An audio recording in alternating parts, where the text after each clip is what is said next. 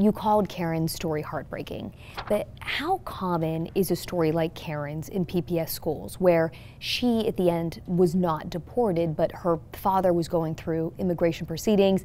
He sends her back to their original country. Um, you know, how common is that? Well, unfortunately, uh, over the last several years, we've seen an escalation of these kinds of stories. Uh, I think last spring I was pretty vocal about how our families were being impacted, uh, how a particular parent of a student. Um, but now we're seeing examples of students themselves uh, having to be removed from their classroom learning. And my fear is, um, how far is this going to go? Uh, it's parents, it's students, and employees. Um, who's next? Is it the Nigerian physics teacher who's been with us for a decade? Um, is it the Muslim teacher? Um, there's something that we have to acknowledge about this climate of fear. Uh, it has a very real impact on the work in our schools. You've been very vocal about this. You know, prior administration has been vocal about this. Once a student is in a school, they're safe. But so much can happen outside of school. So what do you do? How do you help these families as superintendent? Well, one thing we do is we have very clear protocols um, about what level of cooperation or lack of cooperation uh, we'll be uh, taking but we need to maintain uh, a close partnership with uh, many community-based organizations and other resources that, that can support our students, our families, and apparently now our employees um, to make sure uh, that there's somebody there uh, who, who can help them navigate these new troubled waters. The policy states if, you know, before ICE were to enter any school, they'd have to notify you in person talk about why is that a policy and has that ever happened here? Um, it is true. Uh, if a, uh, an agent were to present themselves uh, at the front door of one of our school communities, uh, they have to contact uh, my office and uh, they will have a, a, a clear response ready for them. schools like churches, should, should be sanctuaries. Uh, we're, we're in the business of taking care of children and youth. Uh, we're, we're not a place uh, where uh, agents should uh, come in uh, and, and make arrests or apprehensions. we're, we're, we're never going to be accomplices in, in those cases, ever at least not under my watch. Woodlawn has said if a ICE official comes to the door, they would go into lockdown. Um, why is that protocol for your schools? Well, a primary responsibility we have, and I think every family in Portland would expect, is that we keep a safe uh, school environment.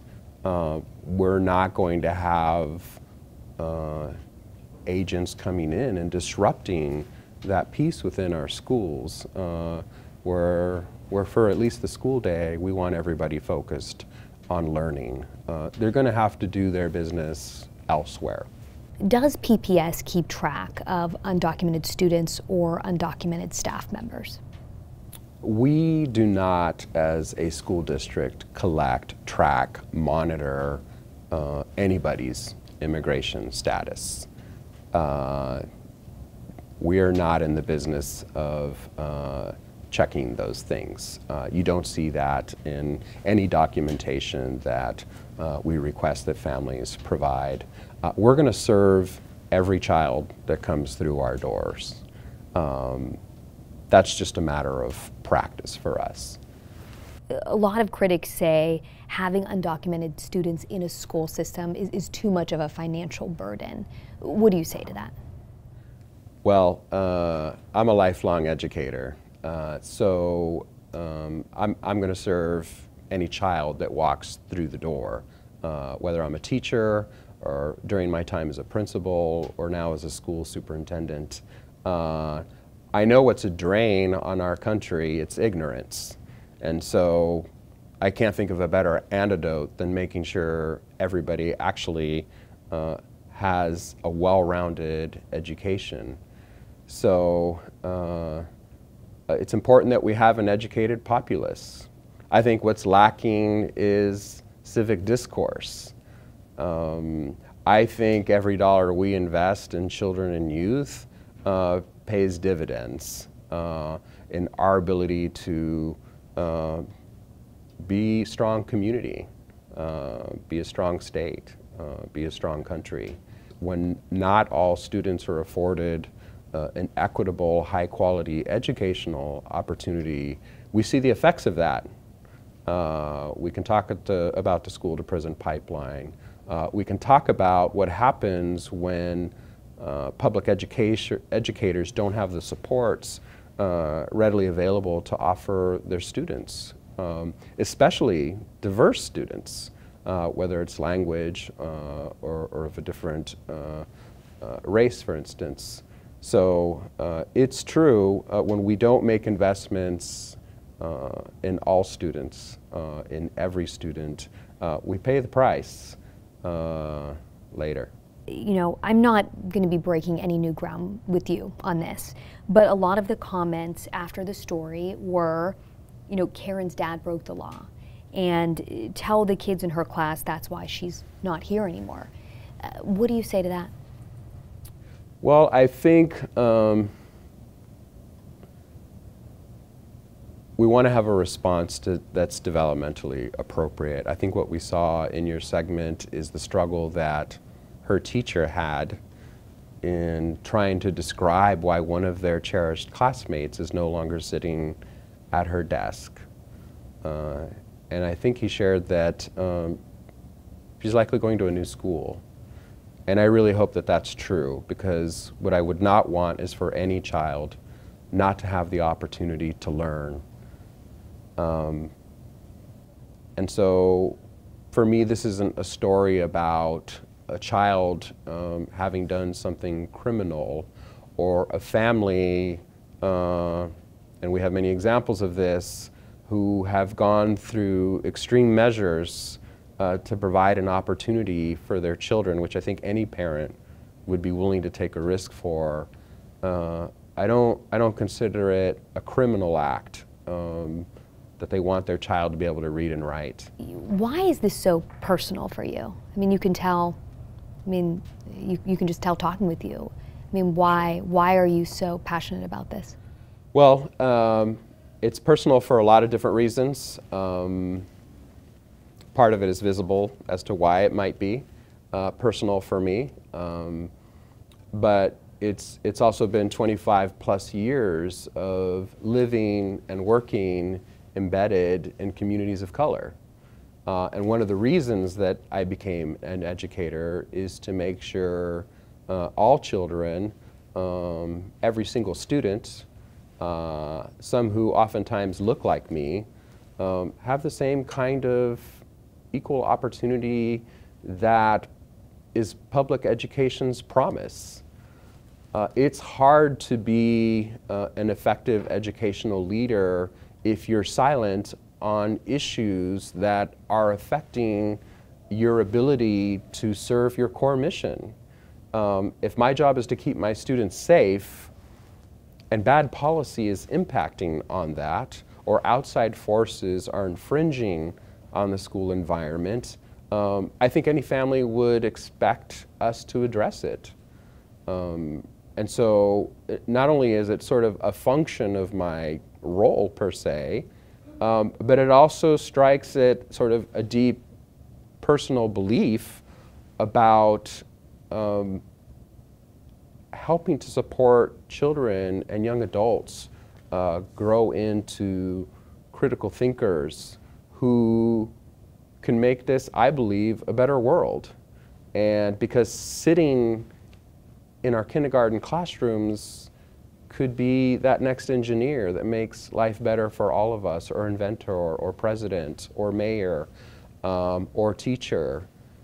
And um, I just don't think we should be robbing children of that opportunity.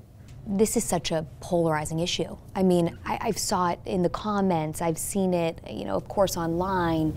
Sure. Just what do you say to critics? I mean, critics are very vocal about this, sure. that schools should not be sanctuary districts or, you know, people broke the law. I mean, what do you say to these critics? Sure. Um, I'm so appreciative that you've been able to capture uh, the story of one school um, because I think it has uh, emerged for folks um, a visual uh, description, hearing those stories.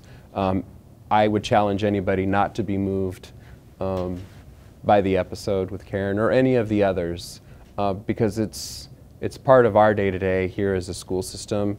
Uh, that's one school. Uh, we have 80 others, and every day stories like that are taking place.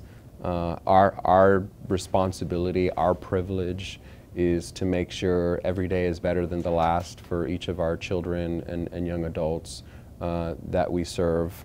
Um, I think uh, certainly people uh, fall along partisan lines um, and believe that uh, schools should not be taking a, a political stance.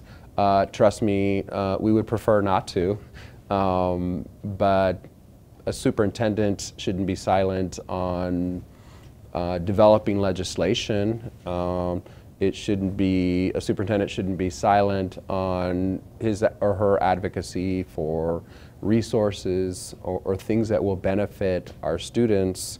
Um, and certainly there's an expectation that we keep safe learning environments.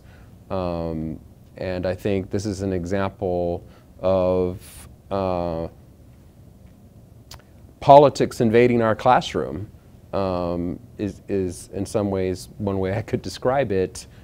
Uh, it it's affecting the, the climate and the safety uh, it's affecting our ability to deliver educational services as an employer. Um, and it's certainly heightening the anxiety from that current students, current employees, current families are feeling. And I'm just wondering um, when does that get better? Because we seem to be headed down a journey where it appears to be getting worse.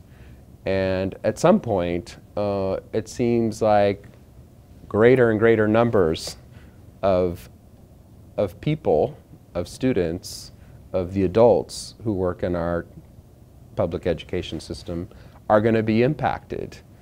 Uh, and I think that goes to my question, who's next?